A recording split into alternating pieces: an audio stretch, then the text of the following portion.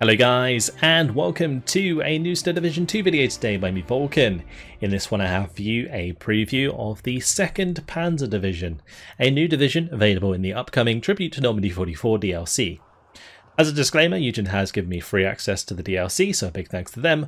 Also, please remember that this was recorded on a preview build, so what you see may be subject to change. If you'd like to read the description on the right hand side, feel free to pause the video and take a look, but let's jump straight on in. Today I'll be looking through all of the units available and then we'll build a quick deck. So let's start in the Recon tab. We of course have the BMW motorcycle. Now one thing that you may notice with the motorcycle is it is 2 vet. Now every unit in the 2nd Panzer basically gets free veterancy, um, which makes them incredibly efficient availability wise and allows you to push a lot of units to to veterancy without sacrificing much, which is really nice. So pretty strong division just based on that. But let's go through all of these units. This one is the Aufklärer and it has Kubels, Triebwagen. You got the 251. Uh, there is no um, 222s available, which is probably a blessing for other people you're playing against because otherwise you'd have like two vet 20 mil vehicles out the wazoo which you still kind of do if you want to.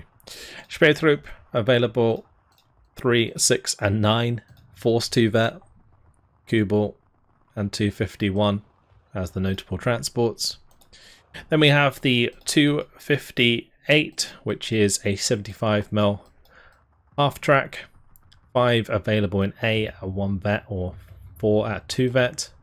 There's the 259, which is one of the candidates for the 2 vet 20 mils. 6 available in A, 12 in B, and 18 in C. Now, one thing to note is that in the new patch that's coming along with this uh, DLC, fallback is going to be nerfed. So you take more damage while falling back now than you used to. And so 20 mil autocannons are going to be even more effective than they already are because of that, which is going to be pretty scary. But uh, I don't believe it's like crazy overpowered. It just kind of punishes you for being careless. Um, but anyway, SBW 231, 4 available in A at 2 vet. SBW 233, 6 available in A at 1 vet, 4 available at 2 vet.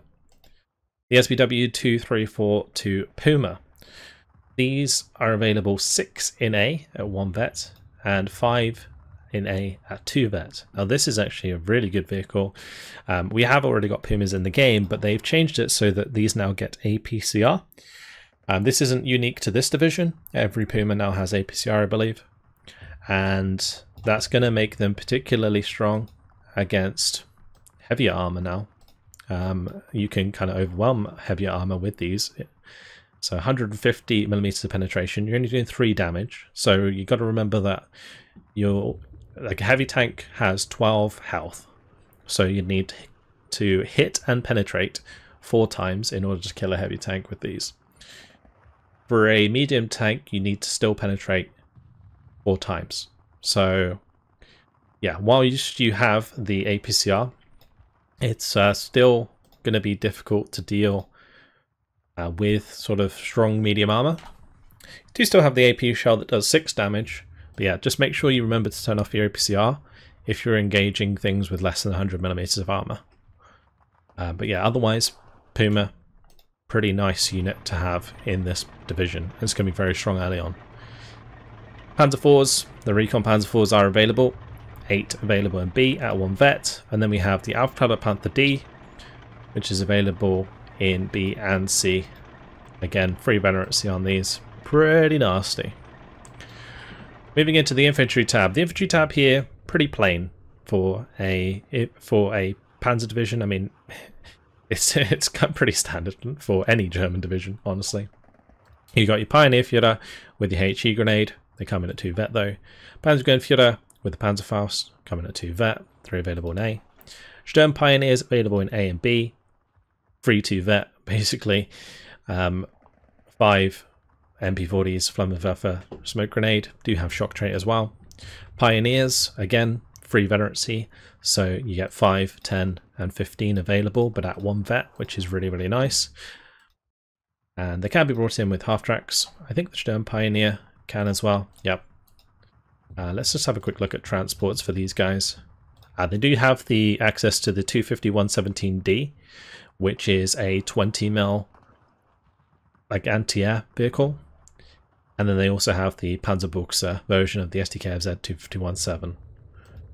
Um, so both of these leaders do get access to those. Uh, uh, this one actually gets access to the SDKFZ 2519 as well, which has that 75mm gun on it. Uh, then we have the Panzergrenführer. Does this one get a different one? No, this gets both the SDKFZ 25117D and the 2519. This one is really nice because the machine gun is facing forwards. It's not on the back. So it can fire its machine gun at the same time it's firing its main gun. It can put down a lot of fire support very quickly indeed. And at 2 vet, that's actually going to be pretty scary because the rate of fire on this will go up to 16 rounds per minute, which is a lot. Uh, then we have a card of Volksdeutsche available, which are double MG34 infantry. Um, they are, again, receiving one free vet available in A and B. And then we have Panzergrenz available in A, B, and C. Again, receiving free vet making them very scary. Can be brought in with half tracks, of course. And the um, Panzergren with Panzerfaust. Now, the free vet on these is even more scary than the free vet on the Panzergren is because you don't. Usually, you would always like one vet the Panzergrens with Panzerfaust because their vet curve is a lot sort of a lot less harsh than it is with the standard Pen Panzergren card. Like you'd go normally from you go from eight to six rather than 9 to 6. And so generally it paid to up vet these. But now you're doing that anyway, so you're going to get them free to vet, which is, yeah, it's going to be nasty. Um, in the tank tab, let's have a look. We have Panzer 4Js available in B and C, 12 and 24 availability. Panzer 4Hs again in B. Um, you've got the 10 and 15 availability. Um, the Panzer 4 H available in B and C, Stugs available in B, um, Stug 3 G Führer available in B, Panther A available in B and C. Again, receiving two vet or um, free vet, so the vet curve on these means you're going to have like two Panthers in phase B with two vet. Um, same with the leader. The leader gets that veterancy. And then the Panther G as well. Also B and C, free vet. it makes these really, really scary, especially in Phase B. Like, because this is like super, super efficient card. Ridiculous. But you might have noticed how none of these tanks can come in Phase A. That is one thing that is unique about this division. Um, and was the case in Steel Division Normandy 44, where you had like all of your light armor and stuff that you could use to assist you in Phase A. And then in Phase B and C, that's when things actually got um, even worse for your opponent. Um, for the support tab, there is Feldgendarmerie, again with free veterancy, A, B, and C. Flammenwerfer, A and B. Uh, no crazy transports for them. You can get access to the Flammpanzer uh, 251 16, uh, which is going to be really nice in Phase A, and the rate of fire on the flamethrower is going to make them pin down things even faster. There are three cards of Borgwards available in B and C, so I mean, that's got to be a video at some point, surely. that is 36 Borgwards. I don't know how I'd make that work, because Borgwards are totally trash and they blow each other up, but yeah. we'll see. We'll see. IG-18 is available in A, B, and C. And then MG42s. There's three cards of these available, and they get free vets. So you're getting four on a card at two veterancy. Yeah, very nasty. Can actually be brought in with the 250 117Ds. Now, bear in mind there's only four of these available, so if you're bringing them in with your leaders, you're not going to be getting them anywhere else. Uh, then there's three cards of Opel Blitzes available. The IG-18 is available in this division as well. Um, three in A, six in B. Usually you wouldn't upvet these, but honestly in phase A I'd be tempted uh, since you can get them up to two vet. Because uh, that way you can push the rate of fire up to six rounds per minute, which I guess isn't like a huge increase, so maybe not worth it. Um, 8 available in B and 12 in C for the Grille. Commandant as a leader. Ramsh as a ace commander. And then we have the Pantheret as a commander. Alright, moving on to the anti-tank tab. Panzerschreck. Only one card of Panzerschrecks. You will want to bring these in. It just got to be choosing exactly when you want to bring them in. Um, then there's the Pak 40, which is available in A, B, and C. Free vet on Pak 40s. I mean, I don't, I don't know how many times I've said it, but it's nasty. All right, this is this is a nasty division. uh, then we have Jagdpanzer IVs available in B and C. I believe these have slightly less armor than their other counterparts, um, the standard Jagdpanzer IV, but uh, yeah, still 145 mils of penetration and 110 mils of frontal armor is still relatively good. But look at that veterancy. Alright, anti-air tab. So we have the Flak 38 20 mils. Um, since these get free vet, it means you can bring them in at 2 vet, and in this case, you can also bring them in with the SDKFZ 104. So you're going to get four 20 mil, um, 20 mil Flak 38s with the SDKFZ 104, which also come in at 2 vet. So that's going to be a really nice combination, especially in the early game. Um, then you got the Gepards available in B and C at 2 vet. The Flak 37, um, which comes in A, B, and C, 2, 4, and 6 availability as usual. Can be brought in with a multi-munition truck if you want to, but generally wouldn't recommend it. And then the SDK of Z71, which also receives free, free veterancy, which is really nasty for a flak filling, I'll tell you that much. Nasty, nasty, nasty. That's all it is. Okay, Beobachter. Um, these can't really come in with any exciting transports uh, other than maybe the half track, but this isn't even the recon half track, so maybe not. Uh, but yeah, three available in A, six in B.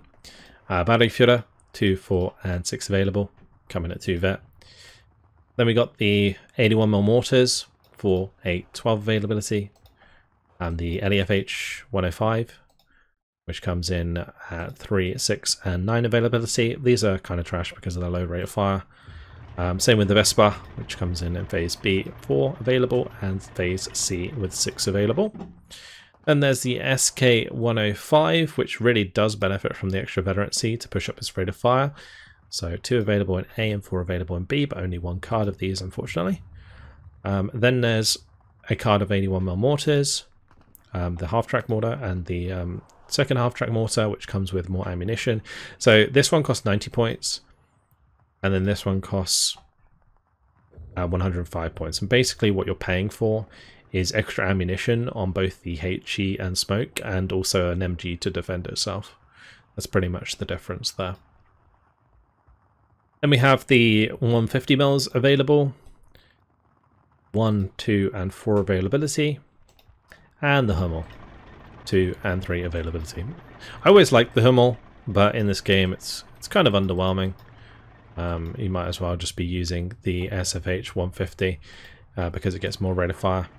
Although I guess this is harder to counter battery if you're lazy. Moving on to the air tab. Um, actually, I should say if you're not lazy, if you want to use the Hummel. uh, but yeah, FI 156. Classic Recon plane, 15.6 available in A, 9 available in B. The Ju-88s, 2, 4, and 8 availability.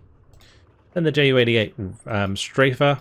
This thing is actually pretty nasty because it's got the 4 ventral 20 mils, and these are very good at uh, deleting ground forces, particularly like support weapons and stuff. Then you've got the Focke-Wulf 190 F8, which has the 220 mils to 13 mils. This is the medium resilience variant because it's an F8. So 3, 6 and 9 availability. You can see that the aircraft don't get the free 1 vet because they weren't part of the ground forces, which do have the actual veterancy. Then we have the Focke-Wulf 190 G1s with the 500 kilogram bombs, so one in A, two in B, and four in C. The Focke-Wulf 190 G3 with the R, uh, R5, which is the one 250 kilogram bomb, four 50 kilogram bombs, two available in A, four in B, and eight in C. Both of these, you'll notice, have bad resilience as opposed to the F8's medium resilience. So do bear that in mind. Um, Ju-88, four 250 kilogram bombs, and 28 50 kilogram bombs is the payload. One available in A, two available in B, and four available in C. And that is your lot. So, yeah, overall, this division very potent uh, with its veterancy. So let's see what we can put together. In phase A, I think we just do double Puma because you don't have any tanks. So the Pumas are going to basically be your makeshift tanks for phase A. You will want to bring in 20 mil vehicles and these 20 mil vehicles are very good. Um, I might actually go and put that in phase A and then put these in phase B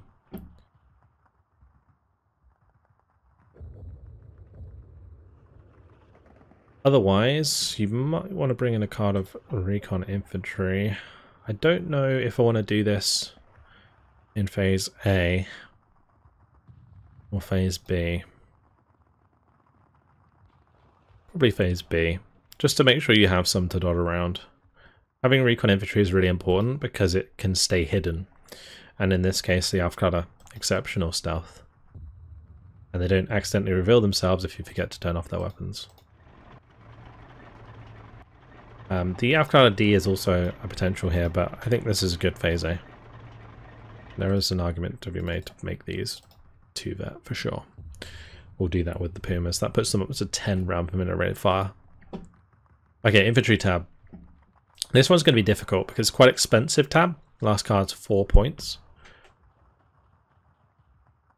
I don't know if I want to put a, a leader in here. Can't really substitute a leader in the support tab. We can substitute leaders in the artillery tab. Um, maybe put one leader in. I'm going to put these guys in. Yeah, with that 20 mil vehicle, I think.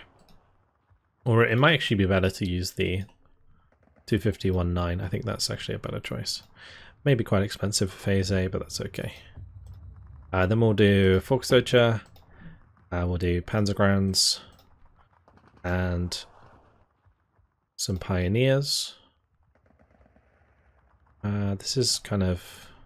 Probably you have to do this because of availability. Actually, no, it'd be better to do it this way around. Them like that. And then... We'll do Sturmpires in phase A normal pyres in phase B with the Panzerfaust ones and then phase C we'll just do something like this. That'll do.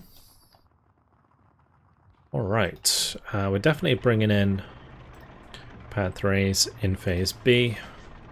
Good availability on those. Phase C and B Pat the G's. Not sure if I want to bring in Panzer IVs. We could bring in some Panzer IVs at 2 vet. It's either that or Stugs. I think Panzer IVs are probably easier to manage.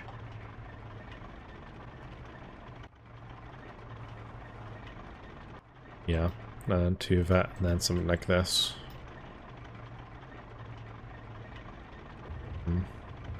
I don't know if I need this many Panthers. It might be better off me having more Panther 4s. Hmm. Not sure.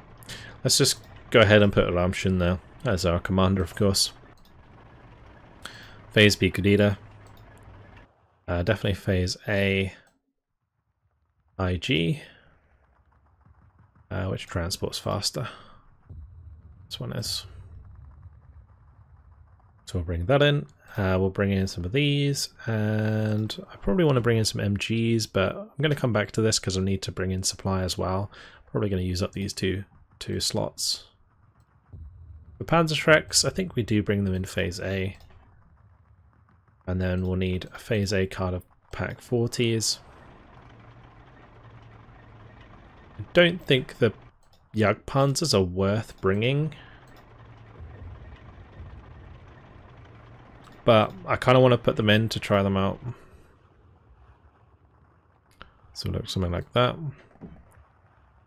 Can I not bring them in with uh, Opel Blitz? No, we've already we've actually run out of Opel Blitz. Okay, interesting. Okay, let's go ahead and use the SDKFZ 10-4s.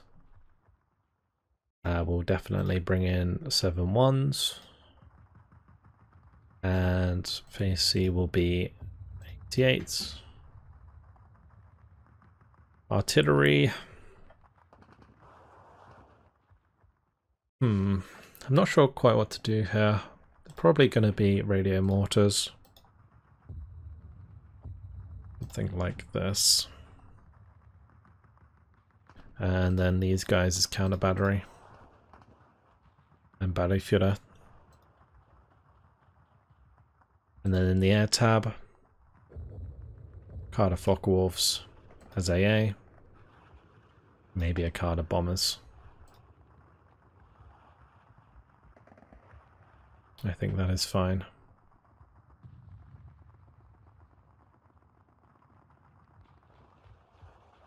Yeah, I think I think overall this looks fine, other than the fact that I don't have the uh, supply in here yet. So we've got to figure out how we're going to do that. There's nothing I really want to take away here. Like I might just have to drop those. We pop in supply here. I don't know if this will be enough supply, but I can bring these in with the mortiers, so we can do that. It will make them quite expensive but I think it's worth doing. And that's no MGs either. I think you, there, there's an argument to be made that you'd use MGs maybe instead of the Flammenpanzer. Uh, maybe MGs aren't needed though, because you've got a lot of 20mm vehicles. You've got like the long range fire support yeah. When you look at this division as a whole, it is gross. So much free veterancy all over the place. All of this stuff is like 2 vet. Yeah, this is going to be a pretty decent division. I think it will struggle still in like 1v1 scenarios. Me and Sackbow are having a little discussion about this, where because it relies a lot on armor and doesn't have like much infantry, like yes, it's got high veterancy infantry, but it's nothing compared to like close range um, specialized infantry. So the infantry tab will still suffer against, you know, really strong divisions like the SSB and the Airborne Task Force and stuff like that. So it will be a strong division. It just depends how oppressive I think 20 mils become because there's a lot of potential in this uh, recon tab to make things spicy in 1v1. But uh, yeah, we'll see. We'll see. Overall, Second Panzer, very strong division. Uh, probably one of the strongest divisions in this DLC, if not the strongest. So let me know what you think about the Second Panzer in the comments, of course. But that's it from me for now. Hopefully you guys have enjoyed this video. Thank you very much for watching, and I'll see you guys in the next one. Goodbye.